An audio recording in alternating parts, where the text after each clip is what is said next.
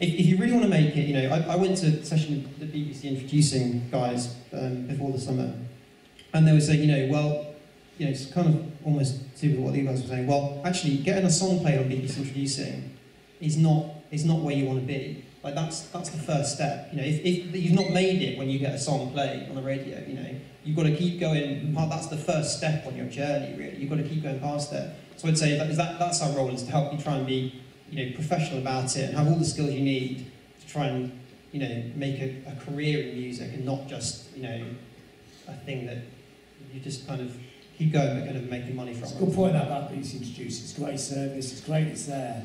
But the media is not as powerful as it used to be. You know, in the 70s and 80s, a radio play could get you a lot of space, but now it's just part of a whole raft of different medias.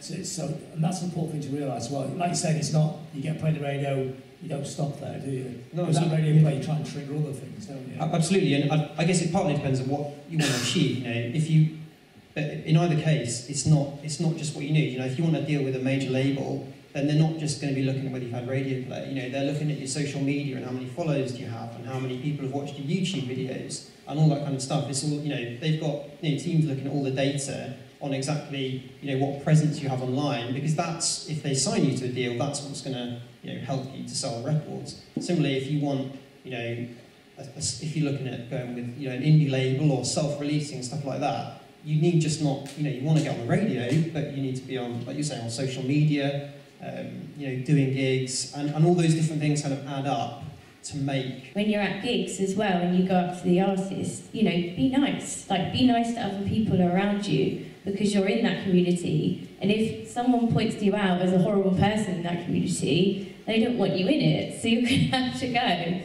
I think that's probably my advice. And social media as well.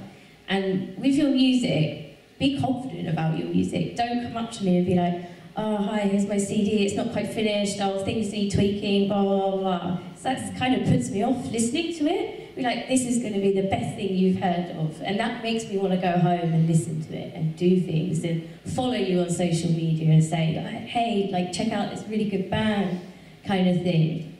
And have really good music, which I'm, I know that's really simple. Quite, quite broad term. Yeah, but have really good music and have have a business plan. Like as sucky as it sounds, the music industry. I know you're all creative people, but it is a business, and it's so important to understand the business and know what's going on in the industry and understand your rights as well.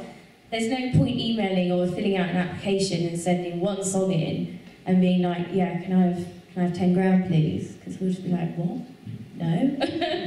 what are you going to use that money for? How is it going to progress you as an artist, a songwriter, or composer? What's it going to do for your career, and what do you want to get out of it?